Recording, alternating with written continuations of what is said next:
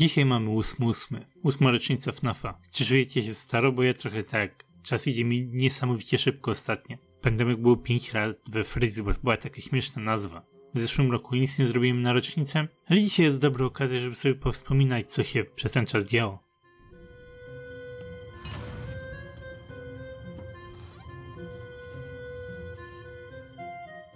Największy news, o którym wszyscy wiedzą, Security Breach wyszedł. Nie będę kłamał, że kanał mi idzie jak mi idzie. Mało filmów z tej gry zrobiłem. Ale nieważne jest, co sądzisz o tej grze, ile kontrowersji mieszanych opinii by dookoła niej nie było, to wciąż jest dosyć ważna gra dla serii. Miała swój zauważalny wpływ na cały fandom.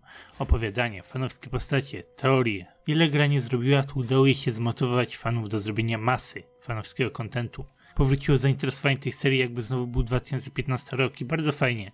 Z teoriami mieliśmy spokój przez długi czas. Wiele osób ruszało się w swoim własnym kierunku, omawialiśmy Fazbear Fright, małe rzeczy się zmieniały. Help Wanted wiele ludziom nie zrobił. Special Delivery ostatnim czas jest bardzo martwy, ale to się zmieniło Security Breach, który wprowadził dużo życia. Ale też dużo nienawiści do fandomów. Ani przypomnieli sobie, że nie znoszą tej serii. Z zwłaszcza teraz, jak zaczęły się debaty na temat Grzechia Robota.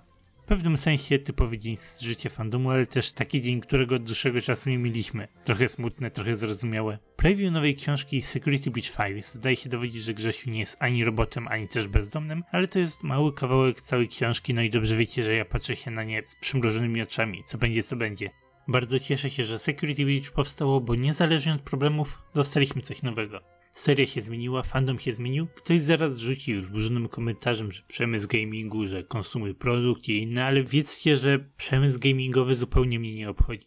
Takie żyje dużo wygodniej. Twoje życie kręci się wtedy wokół ważniejszych rzeczy. Security Breach jest tym, czym jest, krytyka poszła, recenzje wyszły, firma wie też, czy jest sama zadowolona z ukończonego produktu. Nie ma co się nad tym dalej rozwodzić, chyba że ma się coś konstruktywnego do dodania. Mam jeszcze dużo filmów, dużo teorii do zrobienia na temat tej gry. Jeden z tych filmów wychodzi dosyć niedługo. Pracuję nad nim właśnie.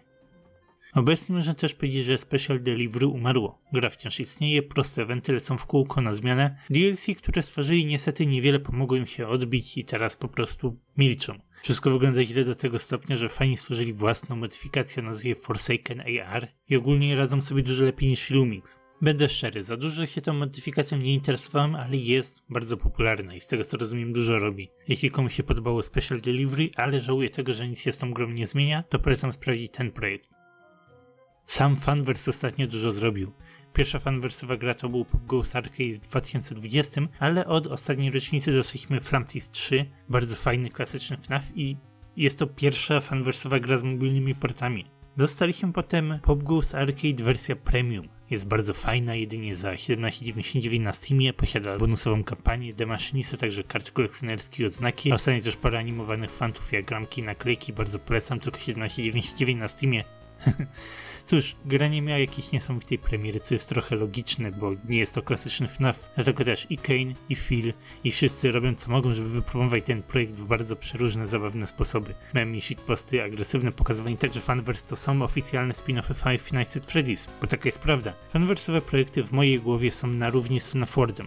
Ale dużo osób tego nie wie. Ostatnio było też sporo kontrowersji, gdzie ludzie clickbaitowali temat tego, że fanwersja jest martwy. Ciężki temat, bo Scott zniknął, nie wypowiada się, nie prowadzi marketingu niczego. Od czasu swojej emerytury nie powiedział nic na temat Security Breach, a co dopiero fanversa. Byłoby bardzo fajnie, gdyby fanwersowe projekty dostały jakieś miejsce na Scott Games przynajmniej, ale niestety jest jak jest. Scott powinien po prostu załatwić jakąś porządną, profesjonalną stronę na temat całej serii, która byłaby tworzona wspólną pracą Click Teama i fanwersowych twórców. Coś, co powinno powstać, ale on sam nie musi się tym nawet zajmować. To mogłoby bardzo dużo pomóc. ¿Quieres? W ostatnim czasie zaczyna się też temat merchu, bo wiemy już jak wygląda figurka Pop Ghosta, figurka Ignited Freddy'ego, a ma się jeszcze więcej. Dzisiaj będą newsy po tym jak już mój filmik wyjdzie, więc śledźcie Keina i Emila na Twitterze dla tych informacji. YouTube'owe figurki wyglądają świetnie, szykuję na nie jakąś półkę do swojego pokoju. Temat pierwszych oficjalnych fanwersowych figurek i puszaków jest niesamowite do wyobrażenia sobie w ogóle. Skoro już mówimy o merchu, to mam nadzieję, że wszyscy wiedzą, że Dołko zaczął swoją własną, oryginalną serię Hex, swoje komiksy, merch, a także FNAFowe kolaby. Jeśli widzieliście kiedykolwiek te pluszaki, które rozkładają się na części, mają magnesy w środku, Hex przygotował masę bardzo ciekawego merchu dobrej jakości. Dobrej jakości niestety oznacza jednak wysoką cenę, więc No nie dziwię się, jeśli nikogo z was ona nie zachwyci. Magnesy są drogie, bo są to dobre magnesy. Mogliby sprzedawać puszaki taniej, ale byłyby gorszej jakości. Nie da się tu nic poradzić. Ale no, to jest też pierwszy cały rok, od kiedy Scott przyszedł na emeryturę, jako że pożegnał się z zeszłego czerwca. Jak mówię, po tym wszystkim zniknął z internetu. Czasami pojawi się w komentarzach pod streamami dołko, ale nic poważnego. Wiemy, że wciąż zajmuje się komunikacją w sprawie Fanverse i wiemy też, że nikomu nie sprzedał swojej serii. Ja nie rozumiem w ogóle, czemu ludzie chcą tej sprzedaży, bo mam nadzieję rozumiecie, że seria nie musi trwać wiecznie, prawda? Dlatego dziwi mnie, jeśli ktoś narzeka na nieśmiertelnego Williama, ale chce nowej gry FNAF. W ciągu tego roku powstało dokładnie to, czego chcecie. Mówię tutaj o dziesiątkach nowych gier, nowych serii niezwiązanych z FNAFem, które nie mają Williama, opowiadają swoje własne historie. Nie trzeba się skupiać na FNAF. Ja, który tworzę od paru lat filmy FNAF na YouTubie, aż tak się na tej serii nie skupiam. Jest masa innych rzeczy dookoła. Nie wyobrażam sobie, nawet nie chcę żadnej sprzedaży FNAFa. Myślicie, że taka zmiana wyjdzie serii na dobre? Ludzie zazwyczaj wyobrażają sobie coś zupełnie przeciwnego, kiedy pomysł sprzedaży jakiejkolwiek serii w ogóle się pojawia. Prawie bym o tym zapomniał. Fnac 4. Emil Marko zapowiedział swoją nową grę, przygodówkę, platformówkę z Candice z masą żartobliwej atmosfery i relacji, rodzeństwa Candiego i Cindy. Gra ma być następcą Candice Adventure jest kom, po prostu małą, śmieszną gierką. Nie wiemy, czy będzie ona częścią fanversa. Niby nie ma powodu, żeby nie była, ale też Emil zupełnie ten temat przemilczał, więc nie wiadomo.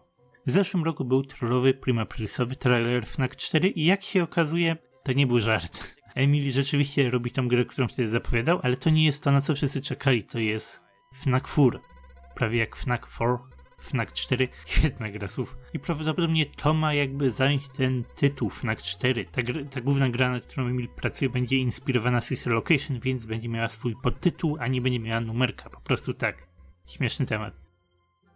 Podczas całego tego roku ze mną osobiście działo się średnio, dziwnie trochę.